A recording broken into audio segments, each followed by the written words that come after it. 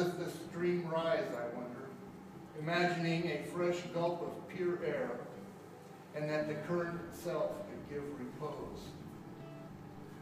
How could I be so lucky? The bullets all miss. I seem to step into thin air, into a reality so unreal that the impression it leaves becomes a reservation, a settlement for the back of my mind.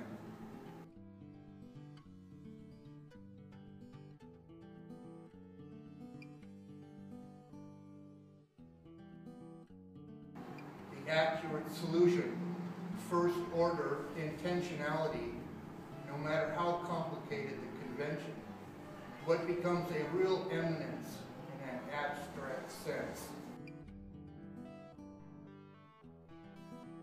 At this period of time, addressing my art, for instance, becomes a symbol, an iconic pivot point that enables one to move and grow and still be in touch with what I believe